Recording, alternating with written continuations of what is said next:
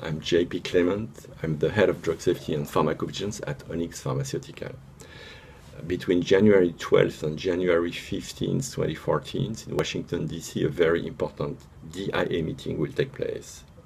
This meeting is about pharmacovigilance and risk management. It's the 30th edition of a very successful meeting.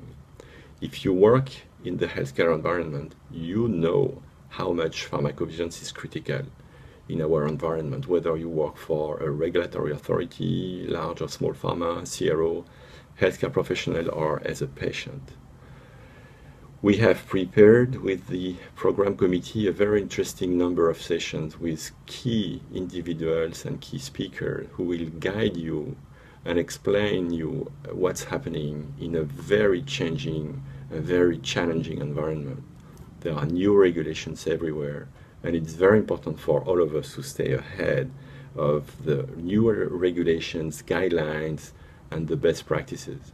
It's also a fantastic opportunity to network, partner, dialogue, meet key persons in your environment that will allow you to increase your knowledge in pharmacovigilance.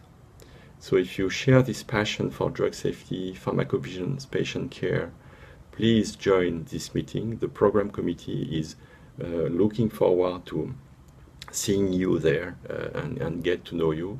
And again, January 12th to January 15th, 2014, in Washington, D.C., pharmacovigilance and risk management strategies. If you are looking for more information, please look at the DIA website, www.diahome.org. Thank you.